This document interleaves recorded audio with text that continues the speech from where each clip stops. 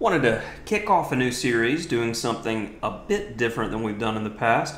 I'll be analyzing Blitz games still, but I've specifically chosen these Blitz games due to the openings or the interest. Something sticks out to me in each one of these games that were played, so hopefully you'll learn something. I have quite a number of them at this point as I've been saving them for quite some time. And as we've gotten finished with the viewer analysis games that have been sent to me. Again, please send me some more games if you feel that they merit analysis and are interesting and can add to the information on the channel, especially if it's in openings that I'm not playing. All right, let's get to it and take a look at this first game. And in this first game, it has been requested that I play some more Alekhine. And I do love the Alekhine. It's probably my first love against E4. And my text on Chessable really shows it. The Dark Knight Rises. And we get one of the most common ways that I see the Alekhine being avoided with Knight C3. And I analyzed this at great depth in the text, and building up to the text on Chessable, I had a lot of options to consider here where you, you can go e5, but I'm typically not an e5 player, so I've never been a big fan of that. d6 can go into a Philidor or a Czech system. We have a great series that on the channel, and it's been updated and improved on the Palm Beach Chess Patreon. Then we've got the main move, d5, which I played in the game. And there are some really interesting lines that can stem from this variation. I used to get trashed in Blitz by this line. And then with deep analysis in the text, I found that black is just simply better here. Even though our pawn structure is ruined, it is still a pawn in hand. You just need to know exactly how to navigate these waters. And even though it's dangerous, nothing to be concerned with. And if the most dangerous line isn't to be concerned with, capturing and releasing the tension is definitely not going to do it. And here after knight takes d5, I believe the most critical continuation is bishop c4, and after knight b6, bishop b3, c5, and you can definitely take a look in the database and see games by Grandmaster Bortnyk, who's definitely the most frequent and top player of the Alekhine defense in the world. But in the main game, after knight takes d5, my opponent plays knight takes d5 straight away back. And that is a bit of an issue because now it's like we're getting a center counter or Scandinavian for free. So the typical center counter the knight comes to c3, and now you're going to need to move the queen. Queen d6, queen d8, queen a5 are the main lines. Queen a5, I think, is the eldest and still the most reputable, but I'm having to lose time. The difference with our position is that with the knights being traded, we are not losing any time. So we have that expression in chess never bring a queen out early. It's if she can be attacked, if she's being kicked around.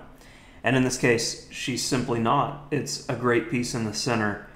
And I'm able to generate some decent pressure quite quickly here. And I mean, developmentally, I feel like Black's already, it, it seems like Black's cheating because I've got extra developmental moves in here.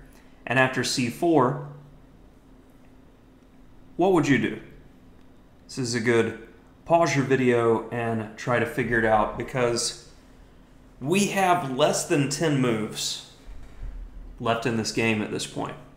And I like this example game because we go from just solid moves in the opening to all of a sudden white has pitched it and is nearly lost.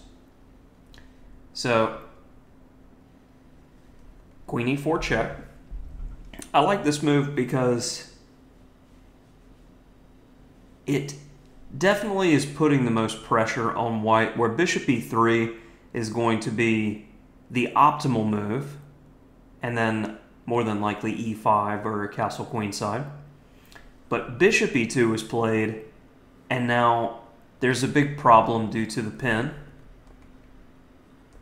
We clip the pawn, and when you're playing this type of system or these games, at this point when I take an advantage, and this is a psychological thing that I see constantly when I'm analyzing my students' games, they'll take a big advantage. They know they're winning, and it's like they relax and then they let their opponent back in.